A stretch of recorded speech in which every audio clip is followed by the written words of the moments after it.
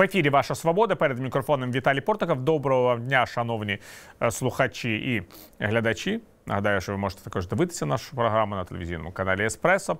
Сьогодні у Європейському парламенті профільна комісія проводить перше засідання щодо візової лібералізації для громадян України. Європейська бюрократія таким чином влаштована, що схвальну оцінку Єврокомісії е, тепер е, аналізуватимуть європейські депутати. А після цього своє слово має сказати е, відповідна рада Європейського союзу, яка і ухвалить остаточне рішення. Однак, поки в Києві очікують безвізових подорожей у деяких столицях країн-членів ЄС, закликають не поспішати відкривати кордони новим державам. Зокрема, у Бельгії говорять е, про необхідність перебачити механізми зупинки безвізового режиму, якщо з третіх країн спостерігатиметься велика частина мігрантів або порушуватися інші міграційні правила. Про це ж також говорили міністри внутрішніх справ Франції і е, Німеччини. Про безвізовий режим та інші питання європейської інтеграції нашої країни. Ми поговоримо з віце-прем'єр-міністром з європейської та євроатлантичної інтеграції Іваною Климбуш-Ценсадзе. Вітаю пане Добрий день. От ви повернулися з Брюсселю. Я хотів би, щоб ви роз'яснили нам все ж таки ситуацію, що склалася, тому що оцінки сказав, експертів і навіть європейських політиків вони протилежні. Хтось говорить, що це буде е, з е, таким, я б сказав, е, досить невеличким темпом просуватися, і невідомо, коли просунеться. Хтось говорить, що нічого серйозно не змінилося, і Україна отримує безвізовий режим там в найближчі місяці, там там влітку восени. Де правда? Правда, як завжди, посередині, пане Віталію. Так, е, щойно ми повернулися з делегації. Це середина між літом і осінню це зима? А, ні, ні, ми не ми не розраховуємо все-таки на 17-й, Ми орієнтуємося на 16-й рік, тому зими чекати не будемо в цьому контексті. А, Дійсно, було намагання. По перше, було намагання таке активне з кількох з боку кількох країн об'єднати процес роз, розглядання надання безвізового режиму України, Грузії і додати туди в пакет розглядання е, стосовно такого ж надання безвізового Косово і Туреччині.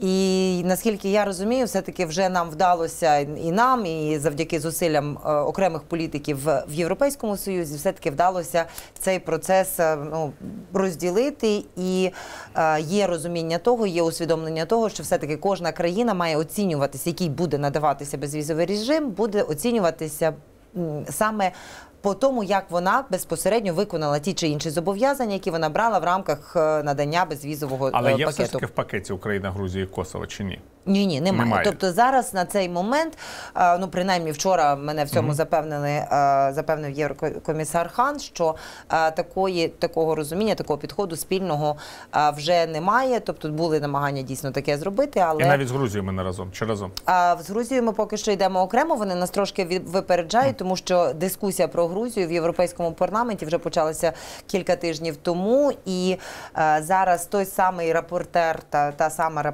ну, Доповідач, доповідач, доповідач, доповідач е, буде е, так само е, опікуватися і нашим українським питанням. І це саме про те йдеться, що сьогодні почалися і з українського вже питання дискусії в комітетах. Європейського парламенту, тому що це має йтися про те, що це буде обговорюватися в кількох комітетах, і знову ж таки ми розраховуємо. Я мала зустрічі так само із колегами з європейського парламенту за цей час. Ми все таки розраховуємо, що Всі наші пояснення і всі наші аргументи, всі наші представлені е, досягнення в тому ключі, який е, тих відповідальностей, тих обов'язків, які ми брали е, на себе в рамках безвізового е, діалогу, ми все виконали, і саме на основі цього нам би мали дати е, позитивне, мало би бути прийнято позитивне рішення. Але я розраховую на те, що так і буде. Приблизно європейський парламент Так. має мати 8 тижнів для того, щоб розглянути це питання. Це звичайна нормальна процедура. Близько 8 Ну, давайте тижнів. порахуємо. Сьогодні Їх, у нас, це впритик. 26 травня. Це абсолютно впритик до того часу, Як поки, вони підуть на канікули. поки європейський парламент піде на канікули. Значить, будемо вважати, що ось умовно кажучи, червень липень, значить вони або проголосують в липні, або на початку, або, на початку вересня. Або на початку вересня. Якщо вони голосують на початку вересня, це ж важливий момент. Да? Ми можемо дві ці ситуації порівняти. Так. Якщо вони голосують наприкінці липня, то ко- коли наступне засідання ймовірної цієї ради ЄС А, і тут я все, ми все одно потрапляємо на, на вересень. на вересень. Все А одно якщо потрапляємо. вересні голосують? Ну, надіюся, що теж все-таки на вересень Ну, або на початок я- жовтня. Я не знаю, або- ну я не знаю ну, розкладу насправді Ради ЄС, але вони бувають насправді там не обов'язково, що це щоб це була рада профільна. Європейського союзу профільна. Тому це питання може розглянутися на будь-якій е, раді ЄС, і воно може там бути в комплекті з іншими питаннями, там не обов'язково, які пов'язані з е, питаннями міграції. чи- Зрозуміло, так. Я просто маю на увазі, що в будь-якому разі Ра- Рада ЄС раніше, ніж восени, це рішення ухвалити не може. Підозрюю, що зараз з такими темпами ми орієнтуємося на те, що це все-таки вересень, а, і ми на це можемо розраховувати. Тепер щодо Ради ЄС. От коли міністр внутрішніх справ Франції і Німеччини обидва говорили, що не треба з цим поспішати, то це вже такі великі країни ЄС з великою кількістю населення. Там є норма, що якщо дві третини голосують проти. З кількістю населення, що напевно має бути кількість держав, які проти, і кількість населення, яке проти. То чи не, не вийде так, що на, на Раді ЄС не буде ухвалено е, позитивного рішення, тому це питання просто там не буде розглядатися вчасно. Тут от А, рад те, що говорили, наскільки я розумію, і наскільки я розумію, Да, з свого були за- да, за з, е, з колегами. Йшлося не про те, щоб не давати, не, приймати рішення позитивного стосовно України, а йшлося саме про те, що зараз е, ідуть пропозиції, як е, зробити жорсткішим режим е, зупинки можливого. Безвізового режиму з тієї чи іншої країни, якщо, якщо відбувається там та чи інша е, проблема. І насправді в Шенгенській угоді самій є такі механізми, які і вже зараз виступають запобіжниками, які можуть призупинити безвізовий режим з третьою ну, з третьою країною, по суті. Але е, ці країни якраз виступають і міністри внутрішніх справ е, виступають за те, щоб е, зробити ці правила жорсткішими, додати додаткові правила. Наш аргумент полягає в тому, що е, ми вважаємо, що цей процес не має узалежнюватися один від одного. Що ми е, потрібно розглядати. Надання Україні Грузії тій самій е, безвізового режиму, а паралельно? І паралельно працювати над тим, що там, якщо ви хочете зробити жорсткішими ті умови, то робіть, будь ласка, і потім скажіть про те, що ви прийняли там додаткове таке рішення, але не чекати того, що спочатку приймаємо якісь додаткові умови, а потім розглядаємо ті, ті країни, які вже там півроку тому, чи, чи, чи як там Грузія більше навіть та чи ми там кілька місяців тому виконали весь пакет умов, щоб це не затримувати цей процес. Ну, я так розумію, що дискусія саме в цьому полягає, що одні європейські політики говорять, що поча- давайте спочатку затвердимо цей режим тимчасового припинення безвізового режиму, а потім буде надавати новим країнам безвізовий режим. А інші кажуть, що це можна робити що паралельно. це можна що в цьому паралельно. дискусія. І поки що, і, і це поки що є дискусією. Тобто немає такого переважаючого дискурсу, що саме так або інакше. Тобто рішення не є прийнято, тому, ну, тому ми активізували там із свого боку так само свої зусилля і з, точки зору виконавчої влади. І буду просити також і наших колег-депутатів долучитися до пояснення того, що було зроблено в тих країнах, з якими з е, парламентарями, з яких вони працюють, спілкуються для того, щоб, щоб вони напряму пояснювали своїм колегам. Буду звертатися також і до громадянського суспільства з тим, щоб ми пояснювали своїм партнерам е, в європейських країнах, тому що всі вони є тими, хто впливає на громадську думку і хто впливає на думку е, тих, хто приймає рішення. Ну, давайте результаті. спробуємо розгля- розглянути цей найгірший варіант. От уявимо собі, що в Європейському Союзі буде превалювати думка, що потрібно спочатку розробити і узгодити цей механізм, а потім вже приймати рішення по безвізовому режиму для інших країн. А думки матеріалі, тому давайте не е, матеріальні, тому Ні, це давайте важливо не з точки будемо. чому. Ну як знаєте, якщо ви були експертами, могли б це не обговорити, але ви віце-прем'єр з європейської інтеграції, тому це важливо говорити саме структурно. Це ж теж можна зрозуміти, який це час забере. Це ж Так, не роки. Але ви знаєте, пане Віталію, ну насправді це може зайняти досить довгий час, та тому що знову ж таки це потребує якоїсь там. Не якоїсь, а узгодженої повністю позиції, всіх, країн. всіх країн. Так і тут можуть бути може йтись мова про якісь деталі. Хтось наполягатиме на одній умові жорсткій, хтось буде наполягати на іншій, виходячи з свого особистого досвіду своєї країни, які вони стикалися з тими чи іншими е, викликами в результаті надання, наприклад, там іншим країнам, тій же Албанії, е, безвізового режиму перед цим, тому що є вже там набір тих країн, в кого є безвізовий режим з шенгенською зоною, і в них є відповідно досвід досвід того, як, як воно працює. Але одні країни мають один досвід, інші мають інший досвід. Тому це може бути ну такий довший процес, і я би не взялася зараз прогнозувати, скільки часу він може зайняти. Знову ж таки, це може бути процес, який деким може свідомо затягуватись. Ну, це Та, тобто да. це, це тут може бути е, зроблено. Тому е, думаю, що нам необхідно працювати саме над, над тим, щоб максимально до, доносити нашим партнерам, доносити ту думку, що ці процеси можуть іти паралельно, і вже дійсно в Шенгенській самої угоді є, є певні запобіжники, які можуть е, спричиняти зупинку безвізового режиму, якщо е, та чи інша умова. Е, Надання цього безвізового режиму е, в якийсь спосіб викликає їхню стурбованість. Телефон нашої студії 044 490 30 74. У нас, здається, вже є перший дозвонювач. Будь ласка. Е, Добрий день, шановна студія. Розуміючи, що ефір не резиновий, це Станіслав з Тернополя. Я буквально я як безпосередній учасник цього процесу 5 років був в Німеччині, 4 роки в Люксембурзі, в, в Чехословакії, Польща. Саме я робив по білому і так називаємий Schwarzarbeit по чорному. Я хочу сказати, що навіть не проблема, що 500 кілометрів відкритого кордону, де е, зброя гуляє туди-сюди з ДНР і з ЛНР. Це це, це нуль порівняно з тим, що це 20 мільйонів, 15-20 мільйонів потенціальних гастарбайтерів, потенціальних, які просто зневідують те, що профсоюзи добивалися віками там на заході. Вони просто зневідують. Я не хочу не можу сказати за всю Україну, я скажу про західну. Власне, українці влаштовують так, що за 10 е, гривень рідну маму в цирк продадуть. То це все буде зневідовано, всі оці е, здобутки. Тобто е, це запустити українців в безвізовий режим в Європу, це вистрілити собі в ногу. Це така моя думка. Як очевидно. Я хочу просто нагадати, що ми говоримо зараз про безвізовий режим для короткотермінових подорожей в Європу, Саме який не надає жодного права на роботу жодному з е, українських громадян. На жаль.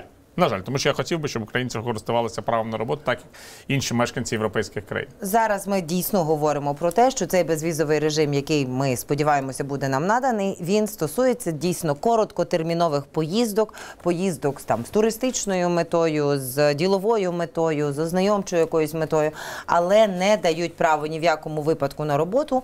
І очевидно, мені з моєї точки зору, мені здається, що всі ті українці, чи переважна більшість українців, які хотіли скористатися можливістю попрацювати в Європейському Союзі і шукали цієї кращої долі в різних країнах. Їх не зупиняв Є- візовий режим, як їх бачимо по дзвінку. Їх абсолютно не зупиняв безвізовий режим. І тому е, думати про те, чи передбачати те, що зараз е, надання безвізового режиму е, буде в який-небудь спосіб е, стимулювати якісь там тисячні чи сотні тисячні, чи, чи так як пан. Слухач говорить якісь взагалі мільйонні а, потоки з України, то, то мені здається, що це просто ну безвідповідально про таке говорити. Тому Ну, що Так російські наші колеги весь час е, говорять. Е, Хоча ви знаєте, абсолютно я думаю, що це просто величезне перебільшення. Ми бачимо, ми бачимо по статистиці. Ми навіть там звертали увагу на статистику, зверталися до наших колег з різних країн. Наскільки зросла, наприклад, в порівнянні з 2014 роком, зросла кількість тих людей, які просять, наприклад, політично з 15-му політичного притулку з боку України. Так от ці цифри не від не відрізняються в рази. Це при тому, що в нас є величезна кількість більше півтора мільйона, мільйон сімсот тисяч внутрішньопереміщених осіб, які здавалося би те, ну могли е, такими. Такими інструментами пробувати користуватися, і тому а, думаю, що такі просто звинувачення вони не мають під собою ніякого ґрунту через те, що дійсно ті українці, які дуже сильно а, намагалися знайти роботу за кордоном, вони в той чи інший спосіб його завжди знаходили, і точно український. Креатив завжди допомагав допомагав з такими завданнями да, справитися. Я так. маю сказати, що мені здається, що це і наш тут недолік, і медіа, і влади е, також, що ми не дуже точно роз'яснюємо, як буде виглядати кордон після того, як буде цей безвізовий режим. Що людина, яка буде його перетинати, вона буде знаходитися в постійному діалозі з прикордонниками, які по суті замінить консул. І той, хто, скажімо, там відвідує державу Ізраїль. після е, скасування безвізового режиму, він точно знає, як взагалі йде розмова з прикордонником. Вона за- завжди відбувається. І вона досить я б сказав, предметна. Інш... Людям просто дозволяють не псувати собі нерви в цих чергах, не заповняти ці документи, не займатися формальностями, які по суті є І не тратити додаткові те кошти гроші, на це. да, так. це серйозно. Які давно вже є суто бюрократією, тому що ми знаємо, що велика кількість людей отримують ці візи Багатора... Багаторічні, багаторазові. А хтось дає документи, які не відповідають дійсності, і теж отримують візи, тому що зараз система бронювання, бронювання літаків, готелів, вона суто формальна. Вона Абсолютно. це давно вже не система 70-х, 80-х років. Сьогодні ти забронював, завтра ти скасував і таке інше. І разом з тим ти Да. да. скористався тими документами для подачі, Для таких подачі, ми звичайно, бачимо, да. бачимо багато випадків. І дійсно, е, так, це буде означати, що на кордоні, по суті, ну не, не весь той пакет документів, які зараз е, вимагають посольства при оформленні візи. Та? Тобто, напевно, ніхто не буде у вас на, на кордоні питатися довідку з банку, скільки ви заробляєте, е, чи яке майно ви маєте залишили за собою в Україні, чи яких членів сім'ї ви залишили за собою в Україні, а для того, щоб, щоб гарантувати ваше повернення. Але разом з тим, дійсно, ти той самий квиток зворотній, той самий або те саме бронювання е, готелю, е, чи підтвердження того, там, де ви будете жити, де ви будете перебувати в той час. Всі ці речі вони будуть запитуватися дійсно прикордонниками, і це вже їхнє право буде прикордонниками вже Пускати країни, куди так, куди ви в'їжджаєте, пускати чи ні. У нас ще є один дзвінок, будь ласка. А, добрый день. Я хочу сказать, что визы, наверное, не являются пред- э, препятствием для путешествия по миру. Если человек хочет, он получит эту визу, что бы в мире не случилось, не только в Европе. Любые форс-мажоры, катастрофы, теракты, аварии, кругом наши люди. А чтобы мы гарантированно повертались додому В Украину, нам надо сделать нормальный, достойный уровень жизни. И украинцы не против участвовать в борьбе с коррупцией, власть против. Вот когда у нас будут хорошие зарплаты, мы сможем оформить визы и поехать в любую точку земного шара, и нас будут охотно принимать, и нам будут давать эти визы чисто формально, потому что будут знать, что украинцы приехали путешествовать, посмотреть, скупиться и охотно уедут домой, где им все гарантировано. Спасибо. Безумовно, і це є мусить бути, повинно бути основним завданням влади, яка би мала гарантувати те, що ми з вами. Живемо в тому суспільстві, яке нам забезпечує повноцінне дійсно життя, яке, яке дає можливість і подорожувати, і отримувати медичне забезпечення, і освіту, і так далі. Тому мені здається, що уряд зараз дійсний діючий уряд він на, на це й націлений. Ми розуміємо, що нам з вами, я хочу вам всім нагадати, нам всім нагадати, що ми з вами в- виборсуємося з тієї ями, в яку в якій ми опинилися два роки тому. Вперше за ці півроку ми вже говоримо про те, що в нас є за перші, ну майже пів перше півріччя. В нас є а, ну досить. Позитивні показники е, економічної стабілізації, що нам дозволить говорити про те, що ми на кінець цього року вийдемо на показник дуже обережний. Такий показник це таки 2% росту ВВП. Це, це не якісь величезні цифри, але це буде означати, що ми одужуємо, що ми, що ми рухаємося в правильному напрямку, і що ми можемо собі в перспективі будемо дозволити е, те, на що ми з вами всі розраховуємо. І розраховуємо ми. Це не залежить від того, чи ти де, де ти працюєш, і, і ми всі хотіли би, щоб, щоб нам вдавалося там почувати себе набагато впевненіше а, в завтрашньому дні, в сьогоднішньому дні і, і бути забезпеченими. Тому так, е, рівень життя є надзвичайно важливим. Це е, безперечно, і, і ми всі маємо разом. Мені здається, маємо разом спільно працювати над цим. Що стосується боротьби з корупцією, то я теж вважаю, що дуже багато речей вже. е, Слава Богу, нарешті входять в силу. Там попередній рік він надзвичайно багато. Ми, ми говорили ми зробили там законодавчих ініціатив. Зараз почали працювати серйозні інституції, які мають боротися з корупцією на низу на, на верхньому рівні. Разом з тим, мені здається, що дуже важливо, щоб ми всі в своєму щоденному житті перестали носити хабарі. Ми всі перестали е, дякувати і віддячувати там, де ми там, де ми просто маємо отримувати е, послуги, і вважали це неприйнятним. І це буде теж нашим внеском в те, щоб що ми завтра будемо мати кращий рівень життя. Я просто теж хочу, щоб ми жили в реалістичному світі і розуміли, що ми ще довго будемо жити у бідній країні, не в багатій, якби ми її не змінювали. І треба робити е, умови для життя, виходячи з того реального рівня добробуту, який у людей є, у тому числі і безвізовий режим, який людям Саме так. Полегшить Дякую. цю ситуацію. Подякую віце-прем'єру з європейської та євроатлантичної інтеграції Івану Кліпошченсад за участь в нашій програмі. Дякую вам. сьогодні провів Віталій Портников. Хай щастить, шановні слухачі і глядачі.